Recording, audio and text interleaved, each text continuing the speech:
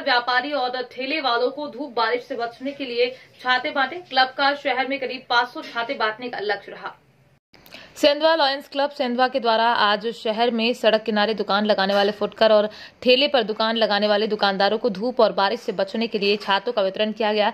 Lions club के पदाधिकारी आज दोपहर को लॉयंस क्लब हॉल के गार्डन में जहाँ पर उन्होंने दुकानदारों को छातों का वितरण किया। इसके बाद किला परिसर स्थित तो मंडी में पहुँचे, जहाँ पर उन्होंने सड़क किनारे दुकान लगाने वाले दुकानदारों को भी छातों का वितरण किया। लॉयंस क्लब के पदाधिकारी ने बताया कि शहर में इन फुटकर दुकानदारों को करीब 500 छाते बांटने का लक्ष्य है। अब तक 200 से अधिक छाते बांटे जा चुके हैं। शेष दुकानदारों को भी जल्द छाते वितरित किए जाएँगे।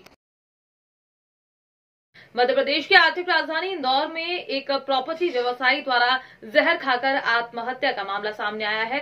पूरा मामला तेजाजी नगर थाना क्षेत्र का है। पुलिस ने मौके पर पहुंचकर शव को अपने कब्जे में लेकर पोस्टमार्टम के लिए पहुँचाने के साथ ही मर्ग कायम कर मामला संज्ञान में लिया।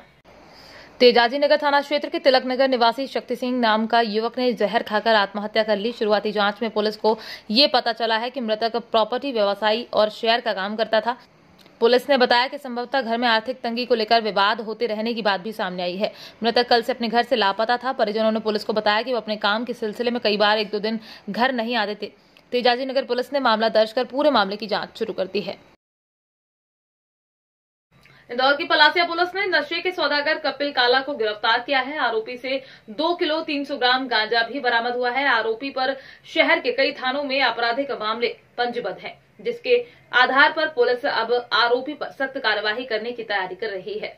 मध्य प्रदेश के मुखिया सीएम शिवराज सिंह चौहान के निर्देश पर इंदौर शहर की पुलिस नशे के विरुद्ध एक अभियान के रूप में काम कर रही है। इसी के चलते पलासिया पुलिस को सूचना मिली थी कि क्षेत्र का कुख्यात बदमाश कपिल उर्फ़ काला लंबे समय से क्षेत्र में अवैध गांजे की स्मगलिंग कर रहा है, जिसके आधार पर पुलिस ने कपिल उर्फ़ काला को गांजे के साथ गिरफ़्तार किया। आरोपी बदमाश हाथ में एक प्लास्टिक के काले रंग की थैली लिया हुआ था पुलिस को देखते ही आरोपी भागने लगा। पुलिस ने घेराबंदी कर पकड़ा। पुलिस को आरोपी से दो किलो तीन सौ ग्राम गांजा बरामद हुआ है।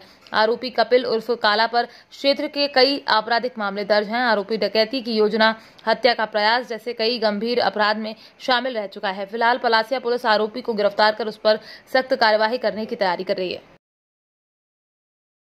खरगोन पहुँचे एनएसयूआई के प्रदेश अध्यक्ष आशुतोष चौकसे ने दावा किया है कि पूरे देश में राहुल गांधी की भारत जोड़ो पदयात्रा को भारी जन समर्थन मिल रहा है। राहुल गांधी पदयात्रा की सफलता से खिसियानी, बिल्ली, खंबा नोचे के तर्ज पर भाजपा नेता कपड़े फाड़ रहे हैं।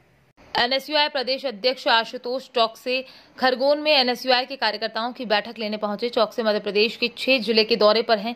जहाँ जहाँ राहुल गांधी जाएँगे, वहाँ की तैयारी का जायजा और कार्यकर्ताओं की बैठक एनएसयूआई अध्यक्ष ले रहे हैं।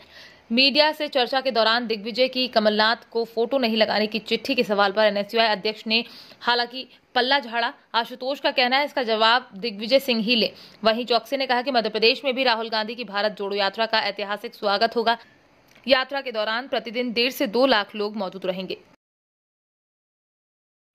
मध्य प्रदेश के स्थापना दिवस पर सेंधवा नगर पालिका व मॉर्निंग ग्रुप के संयुक्त प्रयास से छोटे घट पट्टिया नाले की सफ़ाई कर स्वच्छता अभियान की शुरुआत की गई।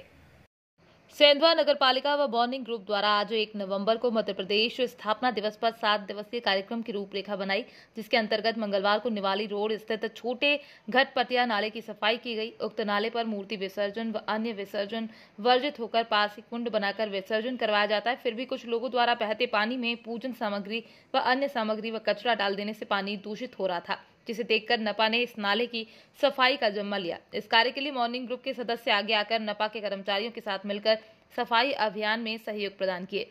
सुबह सात बजे से नपा कर्मचारियों के साथ मॉर्निंग ग्रुप के सदस्यों ने हाथ में झाड़ू व तगारी लेकर नाले की सफ़ाई कर पानी में डाले गए पूजन सामग्री व कचरे को साफ़ कर आसपास के कचरे, जो तकरीबन पाँच ट्रॉली कचरा निकाला गया, वहीं आसपास की झाड़ियों को भी हटाया गया।